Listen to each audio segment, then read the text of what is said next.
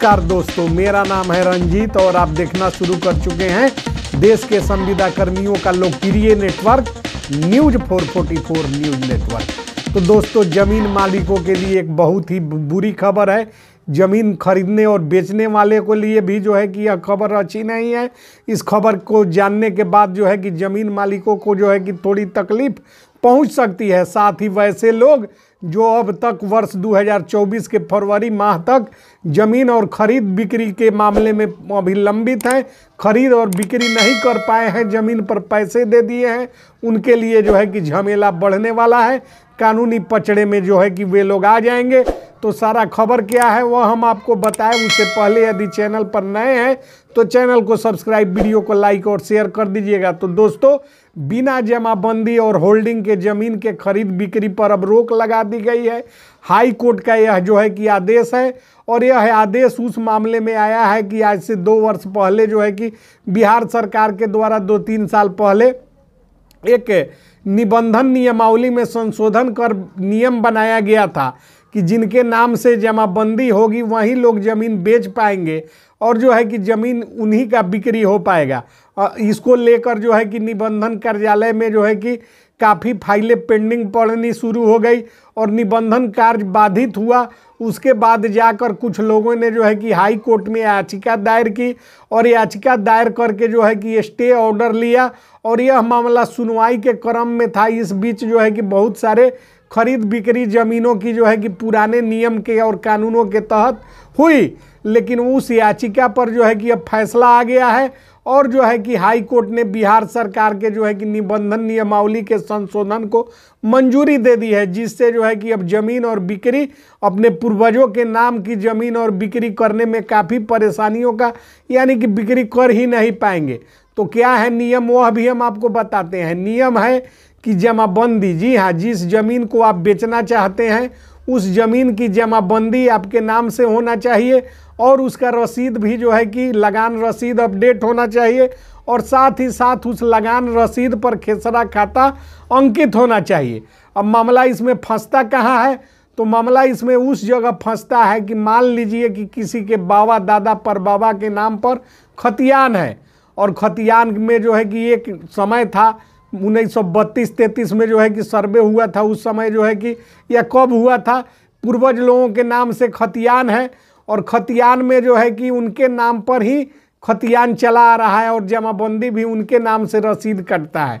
और आज उसमें से किसी के पोते पर पोते को ज़मीन बेचने होगा तो वह जब जाएँगे जो अपने नाम से जमाबंदी कराने तो उसके जितने भी फरीकैन हैं, पटीदार हैं उनकी जो है कि सहमति उसमें होना चाहिए, यानी कि कुल मिलाकर कोट फटवाड़ा होना चाहिए।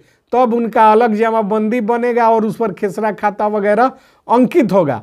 तो यह जो है कि इतना बड़ा झमेला है कि इसको सुलझाने में जो है कि बहुत सारे नौ डिबिया तेल जो कहा जाता है जल जाने का, वह जो है कि स्थिति उत्पन्न हो जाएगी। हम आपको मोटा मोटी देहाती भाषा में बता रहे हैं, क्योंकि जो है कि पूर्वजों के नाम पर ज़मीन है और जो है कि आज पूर्वज एक कोई था और आज जो है कि दर्जन भर जो है कि उसके फरीकैन हो गए हैं तो वे सारे लोग जब तक सहमति पत्र नहीं देंगे कोर्ट बंटवारा नहीं होगा, तब तक जो है कि नई जो है कि रसीद और जमाबंदी कायम नहीं होगी।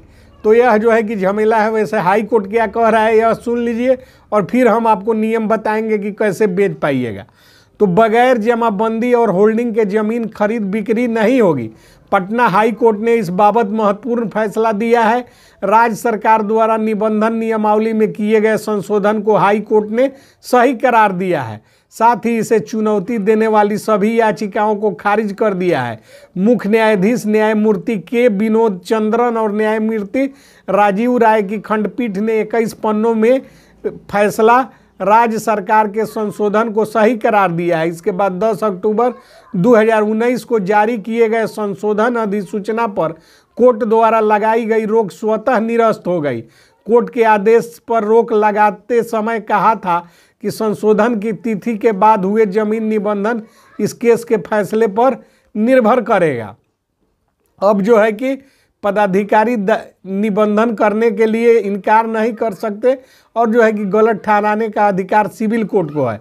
तो सवाल यह है कि जो है कि अब निबंधन कराने में और ज़मीन बिक्री में जो है कि यह परेशानी आने वाली है, क्योंकि जिनके नाम से जमाबंदी जब तक कायम नहीं होगा, तब तक वह जो है कि ज़मीन का बिक्री का कोई महत्व नहीं रहेगा, उसको बिक्री किया ही नहीं जा सकता है। तो यह महत्वपूर्ण जानकारी जो है कि आज आ रही है हाई कोर्ट से निकलकर। इसमें संशोधन में ये है प्रावधान। सरकार ने 10 अक्टूबर 2019 को बिहार निबंधन नियमावली नियम 19 में संशोधित कर उप नियम के तहत जोड़ा था कि इसके तहत ज़मीन खरीद, बिक्री, दान और तभी संभव होगा जब ज़मीन बेचने वाले या दान से जमाबंदी और होल्डिंग का बेचने वाले या दाता से जमाबंदी होल्डिंग कायम हो। संशोधन के बाद निबंधन पदाधिकारी अंचल की संपत्ति की बिक्री दान के लिए पेश दस्तावेज़ पर निबंधन करने से इनकार कर सकते हैं। तो ये जो है कि नियम है और जो है कि इसमें जो है कि फंसेंगे वे लोग जो कि ज़मीन बिक्री और ख़रीद करने में अभी तक वंचित रह गए हैं। अब उनको जो है कि कागज़ी पचड़े का सामना करना पड़ेगा। तो हाई कोर्ट का यह अंतिम निर्णय हो चुका। चूँकि जो है कि सरकार का जो फैसला था 2019 का, उसी को जो है कि हाई कोर्ट ने माना था। तो इस महत्वपूर्ण जानकारी को ज़्यादा से ज़्यादा शेयर कीजिए ताकि देश के तमाम लोगों तक यह जानकारी पहुँचे। तो मिलते हैं अगली वीडियो में महत्वपूर्ण खबरों के साथ। जय हिंद, जय भारत, जय